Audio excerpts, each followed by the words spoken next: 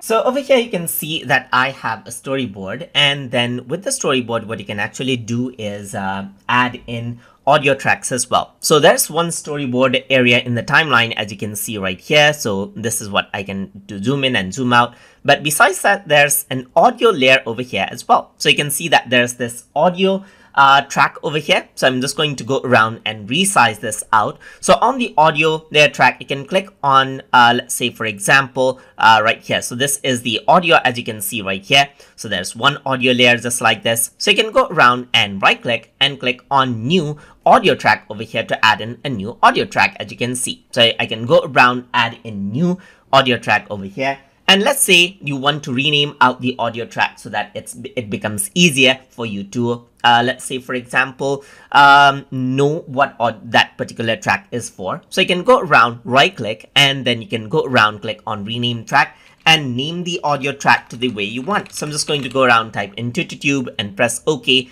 And this is what you have. Similarly, I'm going to go around over here and then I'm going to go around on to let's say for example rename this track as well and this is what you have.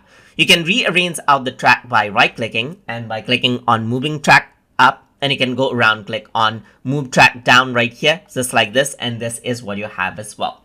So if you want to remove out an audio track, then you can go around right click and then remove out the audio track over here as well. So you can go around so you can delete the current audio track and you can see it is deleted out right there.